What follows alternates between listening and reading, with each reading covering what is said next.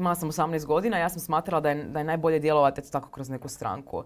I onda sam vidjela da ne moraš biti u stranci da djeluješ i da možeš i na druge kanale politički djelovati. Razočarala sam se u same principe funkcioniranja stranaka i na način na postupaju s mladima.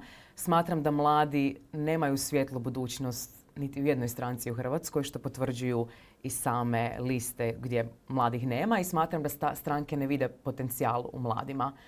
I samim time ja trenutno na hrvatskoj sceni ne vidim neku stranku koja bi rekla ok, ja bi se htjela tu ovaj, angažirati. Ne želim ništa isključiti u budućnosti, možda se to i desi u nekom trenu, ali za sad ja to ne vidim, a i za sad me najviše zanimaju europske politike jer sam ja to i magistrirala, odnosno to sam završila u Briselu na fakultetu.